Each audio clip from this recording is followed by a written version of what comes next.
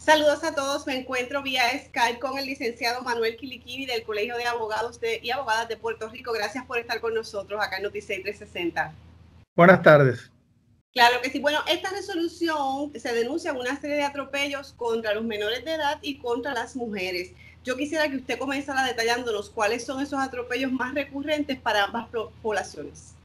Básicamente lo que estamos hablando es de la sexualización de los menores eh, tú lo ves y de las mujeres, tú lo ves todo el tiempo en los anuncios, lo ves todo el tiempo en nuestras conversaciones, tú ves, lo, ves en eh, la forma en que algunos políticos se, desempeñan eh, en grave menosprecio de la mujer y de su valía. Y entonces en el caso de los menores, de los jóvenes, tú ves constantemente memes y comentarios y aún hasta anuncios y películas donde lo que hacen es explotar eh, eh, la imagen sexual de manera sutil o abierta de, de los menores. Estamos hablando de niños y niñas de todas las edades. Eh, y eso es un mal de fondo de, una, de nuestra sociedad que hay que atacar inmediatamente.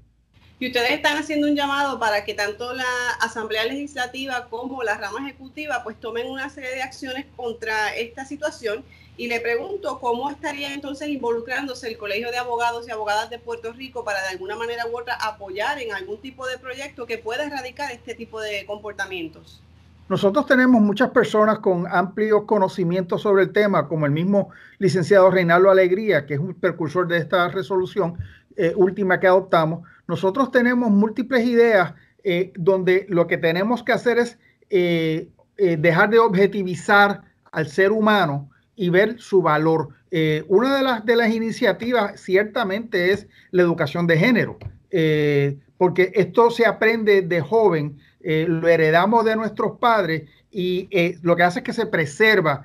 nosotros estamos dispuestos a ayudar a la legislatura con cualquier tipo de proyecto que, cuya meta sea el eliminar e, esta, e, esta, este mal de su raíz. No es algo que se elimina rápido, es una cultura machista, es una cultura de donde se objetiviza, donde el sexo vende eh, y hay que atacarlo en todos sus aspectos, que es, básicamente toda la sociedad.